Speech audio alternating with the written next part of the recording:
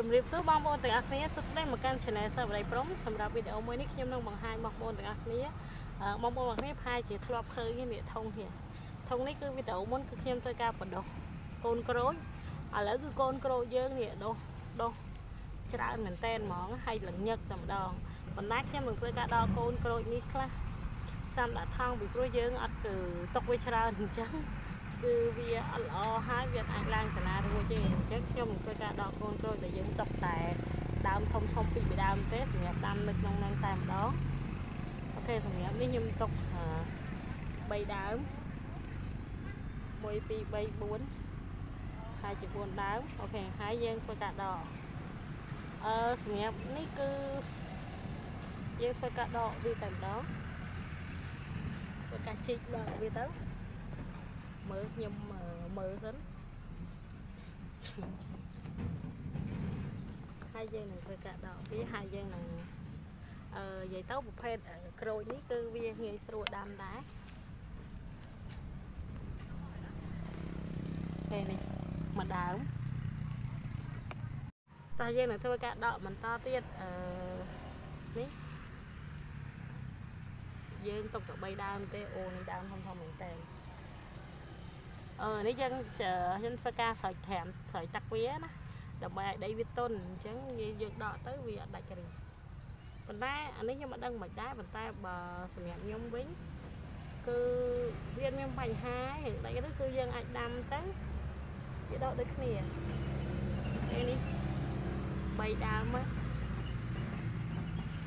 ព្រោះខ្ញុំធ្លាប់ដាំហើយវាដូចជាមានបញ្ហាអីផងពីរឿងហ្នឹងកុំ ឲ្យតែយើងដាច់វាដល់គោទំនាស់អញ្ចឹងវាងាប់អញ្ចឹងប្រភេទក្រូចវល្លិនេះជាប្រភេទយើងអាចនិយាយបានថាវាងាយស្រួលដាំដែរគឺយើងដកម្ដងទៀតមកយើងទុកតែ3ដើមធំធំបានហើយ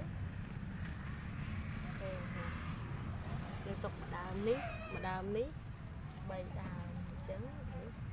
ទៅទៅនេះយើងដកវាចេញខ្លះមកអឺក៏ប៉ិតខ្ញុំ ត្រូវដកវាយូរហើយត្រូវទុកវាដល់ថ្នាក់ធំអញ្ចឹងឯងប៉ុន្តែយើងអឺអត់មានពេលរវល់បានច្រកវាអញ្ចឹងហើយថ្ងៃនេះក៏យើងអត់បានច្រកដែរអញ្ចឹងខ្ញុំធ្វើការដកវាតែចំនួន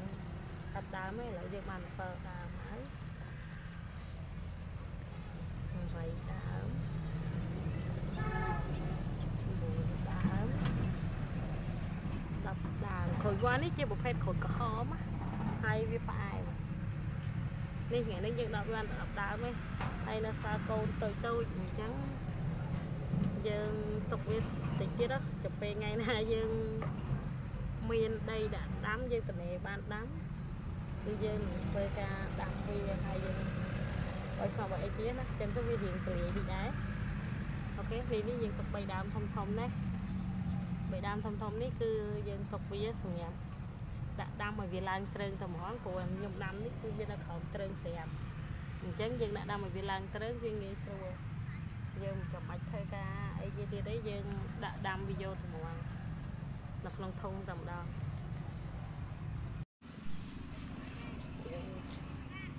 តើបងប្អូនទាំងអស់គ្នានេះខ្ញុំមកមើលពីការដាំដើមក្រូចដំបូងខ្ញុំគិតថាខ្ញុំច្រកថងទេព្រោះពីបងមានបងប្អូនពុកម៉ែខ្លះហ្នឹងគាត់ត្រូវការទិញយកទៅដាំនៅផ្ទះគាត់ ប៉ុន្តែឥឡូវនេះដោយសារតែត្រើងក្រូចខ្ញុំហ្នឹងវានៅខ្វះមកគុំទៀតទៅវាគ្រប់អឺវាមានតិចដើមអញ្ចឹងណាអញ្ចឹងវាខុសមកគុំទៀតអញ្ចឹងខ្ញុំត្រូវការដាំកូនត្រើងមកគុំទៀតកូនក្រូចមកគុំទៀតអញ្ចឹងយើងដាំនៅគល់ត្រើងក្រូចយើងកម្រងទៅព្រោះងាយស្រួលពេលដែលវាធំទៅគឺវាឡើងសម្ដងអូខេដែរយើងនេះវាម៉ត់មកយើងកាយវាមិនអញ្ចឹងណាយើងមានអាចគួចមន់អីយើងដាក់ទៅហើយវាឡើងត្រើងមើលទៅ អើឲ្យវាមានជីវជាតិអញ្ចឹងណាហើយពួកក្រូចត្រើងនេះវាត្រូវការទឹកច្រើនគឺយើងអាសាស្រោចទឹកវានេះខ្ញុំធ្វើការកប់វាអញ្ចឹងមកខ្ញុំរើយកតែដើមមាំមាំមិញខ្ញុំយក3ដើមដើមធំធំមិញហើយធ្វើការកប់វាយ៉ាងម៉េចអូខេនេះក្រូចត្រើងរបស់យើង ពេលយើងដាំវាហើយ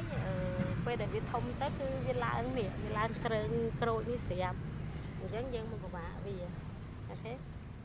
យើងអត់ពិបាកអញ្ចឹងណាវាឡើងទៅនឹងស្រាប់ចានេះស្លឹកស្អីគេស្លឹកស៊ីហ៎ទឹកកៅសម្រាប់អឺចឹងទៅវាឡើងទៅស្រាប់នេះស្លឹកវាល្អនេះដឹងតកៅឬក៏សត្វអីស៊ីរត់ឃើញអញ្ចឹងយើងបេះវាចោលទៅឲ្យវាផុតពូជ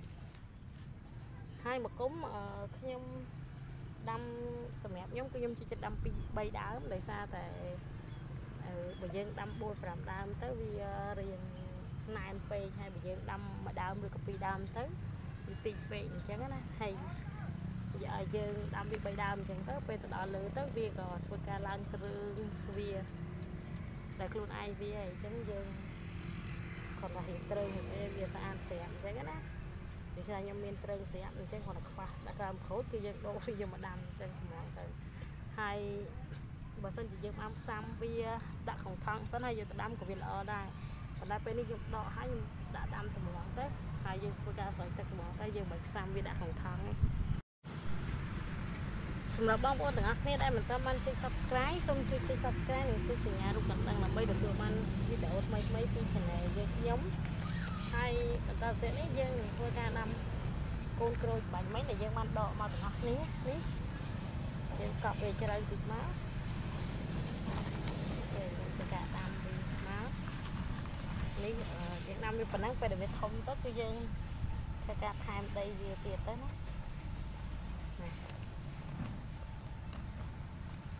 នេះគឺជាកូនក្រូចរបស់យើង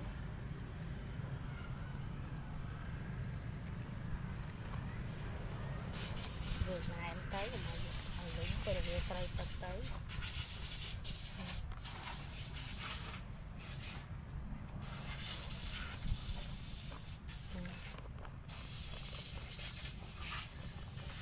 ការបានកូនក្រូចរបស់យើង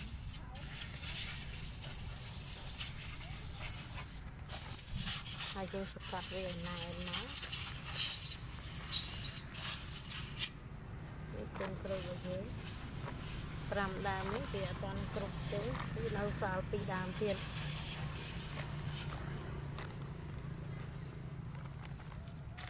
គឺវាងាយស្រួលមែនតើសម្រាប់ដីយើងប្រើដីយើងមានអាចមន់មានអាចទាយើងអីនេះងាយងាយគ្នាសិនទៅយើងយកវាមកដាក់ក្នុងថង់ហ្នឹងហើយរយៈពេល15ថ្ងៃឬក៏កន្លះខែគឺយើងអាចយកវាទៅដាំបានហើយអញ្ចឹងសម្រាប់បងប្អូននេះខ្ញុំមិញខ្ញុំអឺ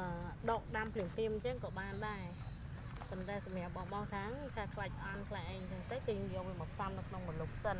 ហើយយើងធ្វើការស្រោចទឹកវាហើយឲ្យញឹកហើយឲ្យវាដុះឬចាប់ឬបានល្អហើយចាំយើងយកទៅដាក់ដាំតម្រងក៏បានដែរអត់មានបញ្ហាអីទេមកអញ្ចឹងវីដេអូនេះមានតែប៉ុណ្្នេះអរគុណពុកម៉ែទាំងអស់នេះដែលតែតែតែងតែតាមដានតាំងពីដើមរហូតដល់ចប់សូមអរគុណសុខភាពល្អសំណាងល្អគ្រប់គ្រប់គ្នា